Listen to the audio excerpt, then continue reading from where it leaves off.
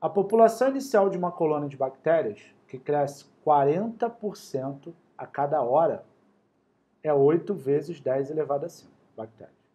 Qual o número aproximado de bactérias dessa colônia ao final de 16 horas? Considere 1,4 elevado a 16 igual a 218. Meu Deus, como é que eu vou fazer isso, Renato?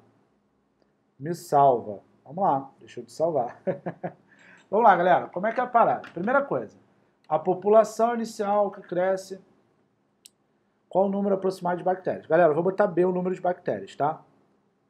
Bactérias é igual a inicial, que é 8 vezes 10 elevado a 5, vezes 1,4 elevado a t.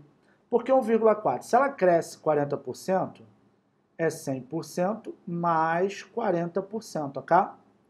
Que dá 140%. Como porcentagem é dividir por 100, você volta dois casos, ou seja, fica 1,40 ou 1,4. Isso a cada hora. Em uma hora vezes, vezes 1,4. Em duas horas, 1,4 vezes 1,4. Em t horas vai ser 1,4 elevado a t. Você tem que saber também montar isso daí, tá? Dá o teu print, eu vou apagar.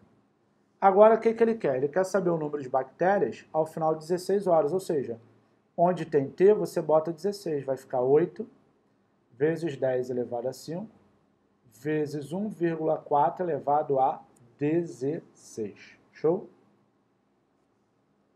E assim eu vou fazendo a minha brincadeira. Simbora? Vamos lá. Como é que vai ficar a brincadeira?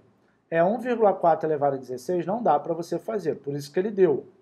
Quanto é que dá 1,4 elevado a 16? Dá 218. Aí essa conta eu vou fazer 8 vezes 218, que dá para fazer, porque não dá para multiplicar por 10 a quinto do jeito que está. Pelo amor de Deus, hein? Então o número de bactérias vai ser 218 vezes 8. Vou fazer essa conta aqui. 8 vezes 8, 64. 8 vezes 1, 8. Com 8 mais 6 dá 14. 16, 1744. Então fica 1744 vezes 10 elevado a 5. Se você reparar, a resposta já dá até para saber, né? Por quê? Só pode ser a letra A, que é a única que tem 1,7, aproximado, né? que é o número aproximado, 1744, o próximo vai ser a letra A. Marco vai ser feliz. Mas eu tenho que saber transformar, porque é notação científica né, que ele fez. Então eu vou vir para cá, ó, 1744 vezes 10 elevado a 5. Para eu chegar a 1,7, eu vou ter que andar uma, duas, três para a esquerda. Quando você quer trabalhar com notação científica, potência de 10, se você vai andar 3 para a esquerda, Sempre que andar para a esquerda, você soma no expoente. Se eu andar 3 para a esquerda, eu somo 3 ao expoente.